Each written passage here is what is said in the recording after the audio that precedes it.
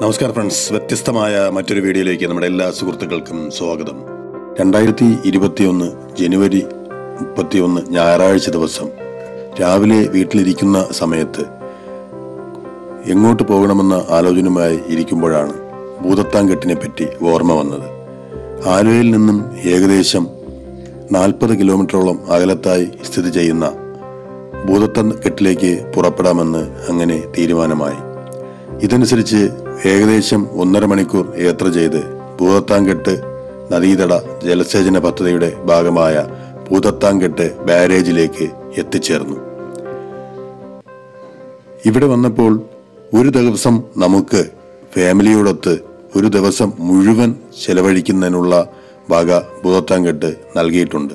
അതുകൊണ്ട് തന്നെ നിങ്ങൾ കുടുംബസമേതം ഒരു ദിവസമെങ്കിലും ഇവിടെ ഒന്ന് എത്തിച്ചേരുവാൻ ശ്രമിക്കുക.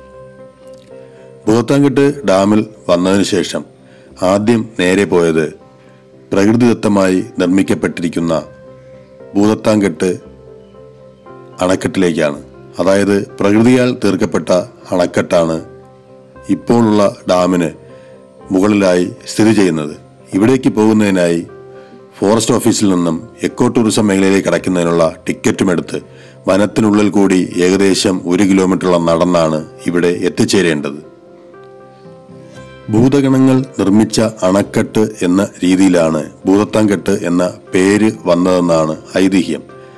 ഇതനുസരിച്ച് തിരക്കിയപ്പോഴാണ് അടുത്തുള്ള അമ്പലത്തിലെ ശിവപ്രതിഷ്ഠയും അമ്പലത്തിലെ ശിവനെയും മുക്കിക്കൊല്ലുന്നതിനായി ഭൂതഗണങ്ങൾ നിർമ്മിച്ച അണക്കെട്ടാണ് ഇതെന്ന് അറിയുവാൻ സാധിച്ചത്. എന്നാൽ സൂത്രശാലിയായ ശിവൻ നേരം വെളുക്കുന്നതിന് മുന്നേ തന്നെ ഒരു കോഴിയുടെ രൂപത്തിൽ കൂവുകയും അങ്ങനെ ഭൂതഗണങ്ങൾക്ക് ഭൂതങ്ങൾക്ക് ഈ അണക്കെട്ട് പൂർത്തിയാക്കുവാൻ സാധിക്കാതെ വരികയും ചെയ്തു എന്നും ഇവിടെ നിന്നും ഗൈഡുകൾ പറഞ്ഞ് അറിയുവാൻ സാധിച്ചു.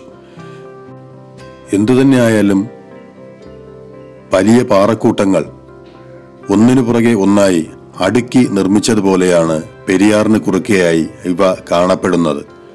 മറ്റു രീതിയിൽ പറഞ്ഞു കേൾക്കുന്നത് കൊച്ചി രാജ്യം അതായത് കേരളത്തിലെ ആദ്യത്തെ രാജവംശമായ ചേര രാജാക്കന്മാർ കൊച്ചി ഭരിക്കുന്ന കാലത്ത് ജലക്ഷാമം ഉണ്ടാവുകയും ഇത് പരിഹരിക്കുന്നതിനായി അന്നത്തെ ചേര രാജവംശം അവിടെ നിന്നും ഇവിടേക്ക് എത്തിച്ചേർന്ന് ഇങ്ങനെയൊരു ഡാം നിർമ്മിച്ചുവെന്നുമാണ് പറയപ്പെടുന്നത്. ആ കാലത്ത് ചേര രാജാക്കന്മാരുടെ കൂടെയുള്ളവർ താമസിച്ചിരുന്നത് എന്ന് കരുതപ്പെടുന്ന ഗുഹയും മറ്റും നമുക്കിവിടെ വരുമ്പോൾ കാണുവാൻ സാധിക്കും. ഏകദേശം പതിനഞ്ച് മീറ്ററോളം അകത്തേക്ക് പോകുവാൻ സാധിച്ചിരുന്ന ഒരു ഗുഹയാണ് നിങ്ങൾ ഇവിടെ കാണുന്നത്. ഇതിൽ കൂടി അകത്തേക്ക് കയറി പോകുന്നതിനും നോക്കുന്നതിനും നമുക്ക് സാധിക്കുന്നതാണ്. അപ്പോൾ നമ്മൾ പൂത്താങ്കെട്ട് പ്രകൃതിദത്ത ഡാമെല്ലാം കണ്ടതിന് ശേഷം നേരെ താഴേക്ക് വന്ന് ഇപ്പോൾ ഈ കാണുന്ന ഡാമിന് എതിരെയായി കാണുന്ന പുതുതായി നിർമ്മിച്ച റോഡിലൂടെ ഡാമും കണ്ട് നമുക്ക് തിരിച്ച് ഇറങ്ങി നമ്മുടെ പാർക്കിന്റെ സ്ഥലത്തേക്ക് വരുവാൻ സാധിക്കും. ഇവിടെ വന്നു കഴിഞ്ഞാൽ അതിവിശാലമായ ഒരു കാർ പാർക്കിംഗ് ഏരിയയും ഒരു വളരെ വലിയൊരു പാർക്കും കുട്ടികൾക്ക് കളിക്കുന്നതിനുള്ള പാർക്കും നിങ്ങൾക്ക് ബോട്ടിംഗ് നടത്തുവാൻ താല്പര്യമുള്ള ആളുകളാണെങ്കിൽ ബോട്ടിംഗ് നടത്തുന്നതിനുള്ള സംവിധാനവും എല്ലാം നിങ്ങൾക്കിവിടെ ലഭിക്കുന്നതാണ്. കൂടാതെ കെ ടി ഡി സിയുടെ ഒരു ബിയർ ആൻഡ് വൈൻ പാർലറും ഇവിടെയായി നിങ്ങൾക്ക് കാണുവാൻ സാധിക്കും. ഭൂതത്താൻകെട്ടിലേക്ക് എത്തിച്ചേരുന്നതിനായി ഏകദേശം കോതമംഗലത്ത് നിന്നും പത്ത് കിലോമീറ്റർ ആണ് ഉള്ളത്. പിണ്ടിമന ഗ്രാമപഞ്ചായത്തിലാണ് ഭൂതത്താൻകെട്ട് ഡാം സ്ഥിതി ചെയ്യുന്നത്.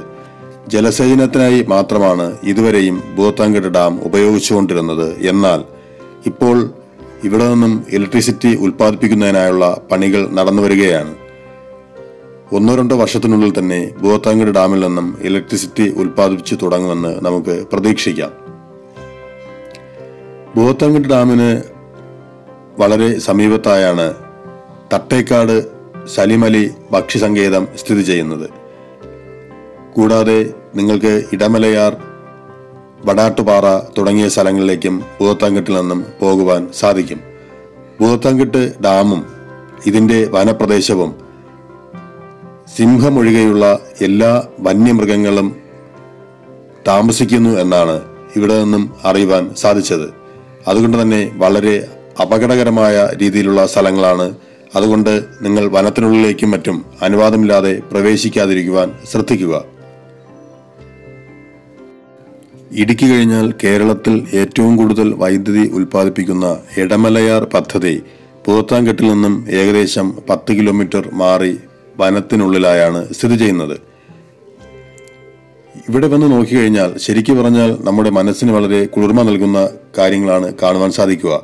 കിഴക്കായി മലനിരകളും താഴെയായി വ്യത്യസ്തമായ കളറുള്ള ഡാമും നിങ്ങൾക്ക് ബോട്ടിങ്ങിനായി ധാരാളം ബോട്ടുകളും പെഡൽ ബോട്ടുകളും അല്ലാതെ ഒരുമിച്ച് സഞ്ചരിക്കുന്നതിനുള്ള ബോട്ടുകളും നിങ്ങൾക്കിവിടെ നിന്നും ലഭിക്കുന്നതാണ്.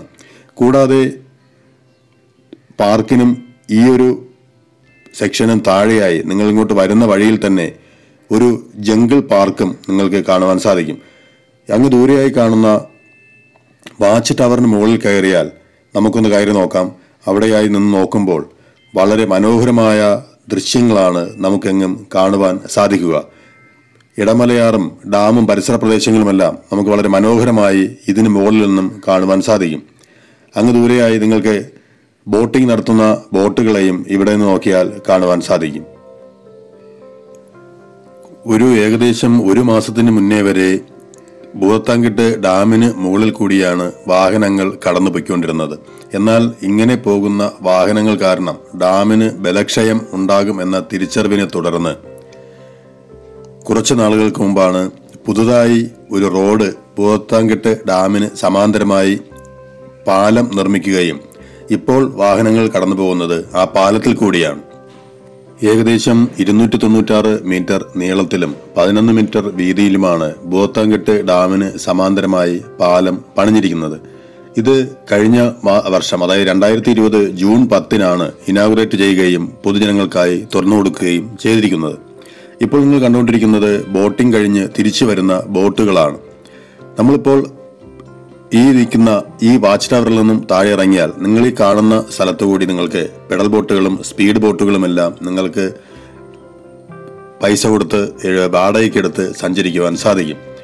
ധാരാളം ആളുകളെയും വഹിച്ചുകൊണ്ടുള്ള ബോട്ടുകൾ പോകുന്നത് നിങ്ങൾക്ക് ഇവിടെ നിന്ന് നോക്കിയാൽ കാണാം. അതിമനോഹരമായ പ്രകൃതി ദൃശ്യങ്ങളാണ് ഇവിടെ നിങ്ങൾക്കായി പ്രകൃതി ഒരുക്കിയിരിക്കുന്നത്. ഞാൻ നേരത്തെ പറഞ്ഞതുപോലെ ഒരു ദിവസം നിങ്ങൾ കുടുംബവുമായി വന്നാൽ കുട്ടികൾക്കും നിങ്ങൾക്കും ആസ്വദിക്കാനുള്ള എല്ലാ വിഭവങ്ങളും ഭൂതത്താൻകെട്ട് ഒരുക്കി വച്ചിട്ടുണ്ട്. ഭൂതത്താൻകെട്ട് ഡാമും പരിസര പ്രദേശങ്ങളും അടങ്ങിയ ഈ ഒരു വീഡിയോ നിങ്ങൾക്ക് ഇഷ്ടമായി എന്ന് വിശ്വസിക്കുന്നു. വീഡിയോ ഇഷ്ടമായിട്ടുണ്ടെങ്കിൽ ചാനൽ സബ്സ്ക്രൈബ് ചെയ്യാത്ത കൂട്ടുകാർ ചാനൽ ഒന്ന് സബ്സ്ക്രൈബ് ചെയ്യുക. ആ നോട്ടിഫിക്കേഷൻ എനേബിൾ എന്നുള്ള ഓപ്ഷൻ ബെല്ലിന്റെ ഐക്കൺ കൂടി ഒന്ന് എനേബിൾ ചെയ്ത് വയ്ക്കുക. തുടർന്നുള്ള വളരെ മനോഹരമായ ദൃശ്യങ്ങളും ടെക്നോളജി പരമായിട്ടുള്ള കാര്യങ്ങളും നിങ്ങൾക്ക് ഈ ചാനലിൽ നിന്നും ലഭിക്കുന്നതിനായി സബ്സ്ക്രൈബ് ചെയ്ത് നോട്ടിഫിക്കേഷൻ ആളെന്നുള്ളത് എനേബിൾ ചെയ്ത് വയ്ക്കുക. മറ്റൊരു വീഡിയോയുമായി വീണ്ടും കാണും വരെ. നമസ്കാരം ഫ്രണ്ട്സ്